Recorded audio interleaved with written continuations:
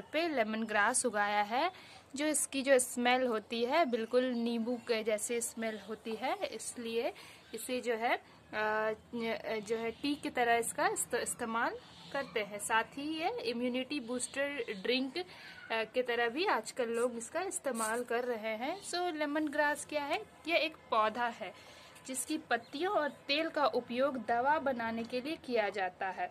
Thai foods में मुख्यतः इसका अधिक उपयोग किया जाता है। इसका उपयोग सूप वेजिटेबल स्टॉक्स और नॉनवेज बनाने में किया जाता है।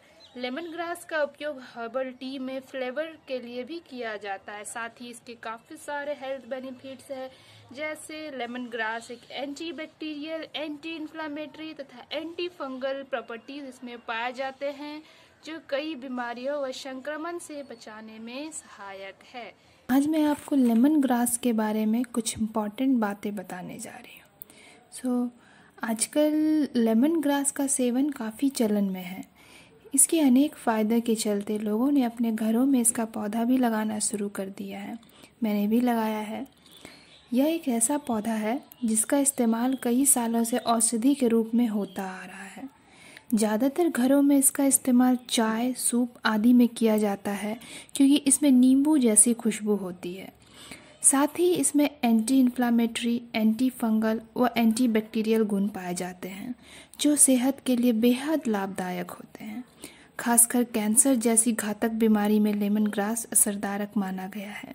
साथ ही इम्यूनिटी बूस्टर ड्रिंक डाइट भी है लेमन ग्रास तो कोविड नाइन्टीन सहित व अन्य किसी भी बीमारी से लड़ने के लिए स्वस्थ रहने और अपने इम्यूनिटी को बढ़ाने की ज़रूरत पहली शर्त है।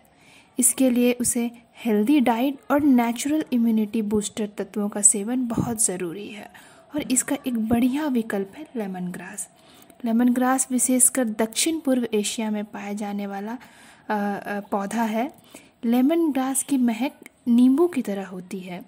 लेमन ग्रास में, जैसा कि मैंने बताया एंटी बैक्टीरियल एंटी इन्फ्लेमेटरी तथा एंटी फंगल गुण होते हैं जो कई बीमारियों व संक्रमण से बचाने में सहायक है। तो आइए जानते हैं कैसे करें लेमन ग्रास का सेवन।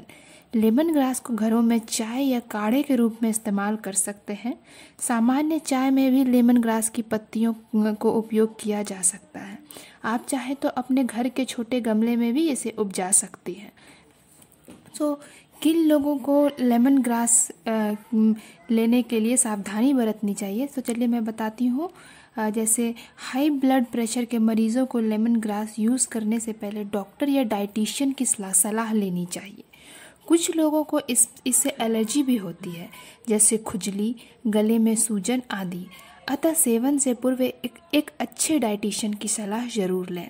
गर्भवती और स्तनपान कराने वाली महिलाओं को इसका उपयोग नहीं करना चाहिए क्योंकि इसके सेवन से माहवारी शुरू हो जाती है और गर्भपात का डर रहता है।